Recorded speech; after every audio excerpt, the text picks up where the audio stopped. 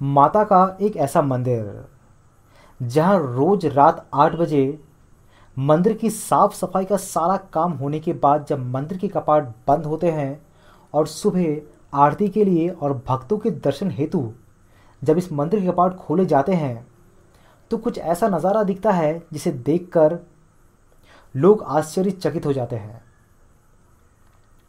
दोस्तों, भक्त तो भाव विभोर होते ही है और साथ ही साथ नास्तिक जो होते हैं, वो ये सोचते हैं कि आखिर ये कैसे संभव है। दोस्तों, होता ये है इस मंदिर में, सुबह के वक्त जब कपाट खुलते हैं इस मंदिर के तो दिखता है कि माता के चरणों में फूल अर्पित है और पूजा पाठ हो चुकी है।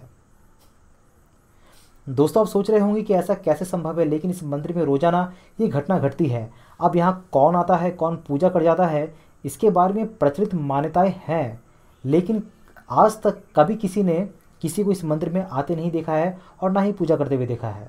लेकिन फिर भी सुबह जब कपाट खुलते हैं सबके सामने तो पूजा पहले से हुई मिलती है।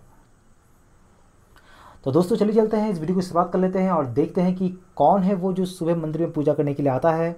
उसके पीछे कौन सी प्रचलित और पौराणिक मान्यताएँ हैं? ये मंदिर कहाँ स्थित है?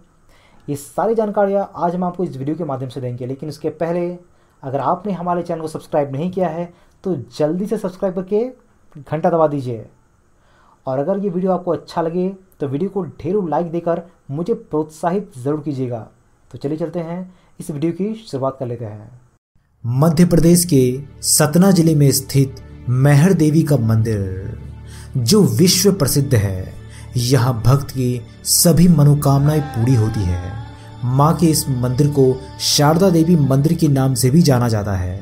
देश भर में देवी शारदा का यह एकमात्र मंदिर है।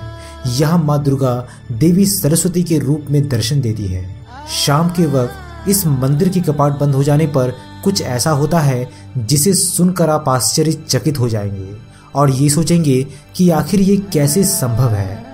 तो चलिए अब जानते हैं कि आखिर इस मंदिर में ऐसा क्या होता है जिसकी वजह से ये मंदिर पूरी दुनिया के आकर्षण का केंद्र है।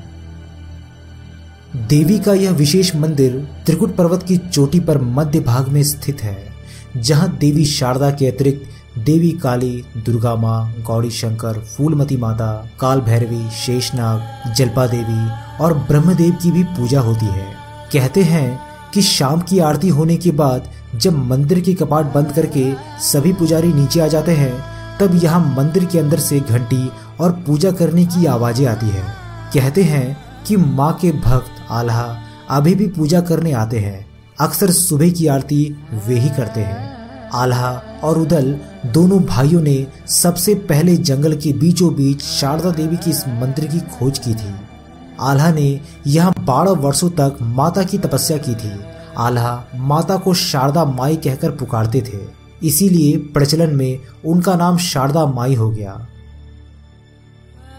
ये भी मान्यता है कि यहाँ पर सर्वप्रथम आदि गुरु शंकराचार्य जी ने नौवीं और दसवीं शताब्दी में पूजा अर्चना की थी। मान्यता है कि माँ ने आल्हा को उनकी भक्ति और वीरता से प्रसन्न होकर अमर होने का वरदान दिया था। लोगों की माने तो आज भी रात आठ बजे मंदिर की आरती के बाद साफ़ सफ़ाई होती है और फिर मंदिर के सभी कपाट बंद कर दिए जाते हैं। इसके बावजूद भी जब सुबह मंदिर को पुनः खोला जाता है तो मंदिर में माँ की आरती और पूजा किए जाने के सबूत मिलते हैं। आज भी यही मान्यता है कि माँ शारदा के दर्शन हर दिन सबसे पहले आल्हा और उदल ही करते हैं। आल्हा और उदल ये दोनों भाई बुंदेलखंड के मोहबा के वीर योद्धा और परमार के सामंत थे। कलिंजर के राजा परमार के दरबार में जगनीक नाम के एक कवि ने आल्हा खंड नामक एक काव्य की रचना की थी। उसमें इन वीरों की गाथा वर्णित है। इस ग्रंथ में दो वीरों की बावन लड़ाइयों का रोमांचकारी वर्णन है। आखिरी लड़ाई उन्होंने पृथ्वीराज चौहान के साथ लड़ी थी।